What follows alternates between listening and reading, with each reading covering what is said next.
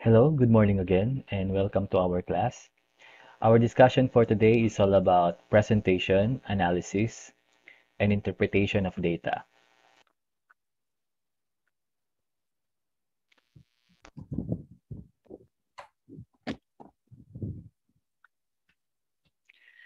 Our lesson's objectives are to understand the difference between presentation, analysis, and interpretation of data gathered. Also, to effectively present the gathered data through graphs, tables, and figures, and analyzing and interpreting the data gathered. Let us first define what is presentation. Presentation of data refers to the organization of data into tables, graphs, or charts so that the logical and statistical conclusion can be derived from the collected data.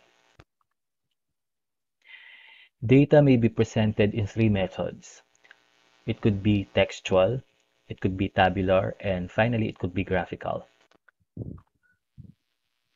So first one is textual presentation.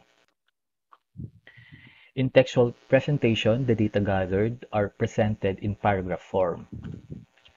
Also, the data are written and read. It is a combination of texts and numbers. So an example is this one. Of the 150 sample interviewed, the following complaints were noted. 27 for lack of books in the library, 25 for a dirty playground, 20 for lack of laboratory equipment, 17 for a not well-maintained university buildings. So this is an example of textual presentation of data. So it is in a paragraph form and it is just written and being read and it is combination of text and numbers. Okay. So let us move now to the tabular presentation. In tabular presentation, method of present it is a method of presenting data using statistical table. It is a systematic organization of data in columns and rows. So this is an illustration or example of a tabular presentation. I am sure that uh, we are all familiar with the tabular presentation. So we have the table heading, the body, the stubs, and um, footnote or of source of data. So here um, we have the table heading for month, year, and sales. Also, we have the body, uh, combination of text and numbers. And also we have the source of data. Okay, so this is an example of a tabular data with columns and rows.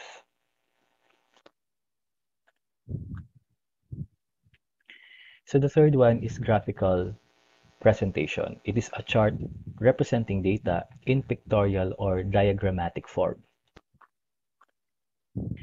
So we have different types of graphs and charts. So we have the bar graphs, linear graphs, pie graphs, pictograms, statistical maps, and ratio charts. So to illustrate the types of graphs and charts, we have the bar graph. It looks like this. A linear graph or line graph a pie graph in circular form, pictogram with some pictures in it,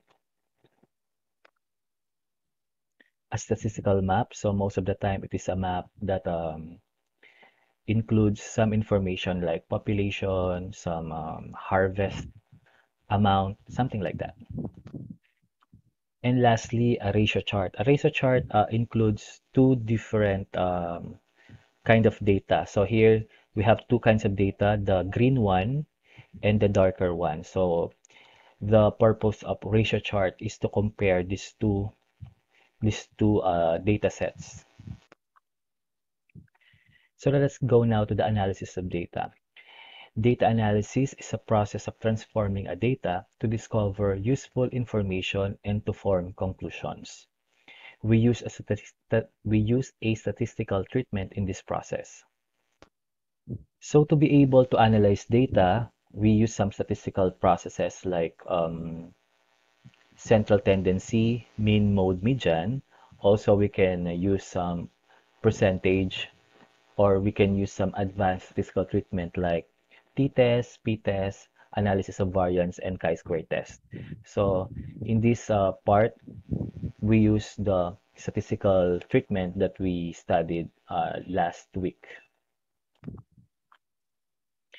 And finally, we have the interpretation.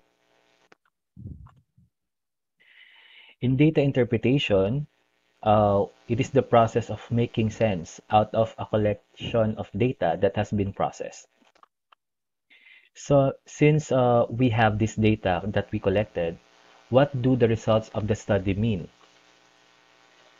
This part is perhaps the most critical aspect of research report.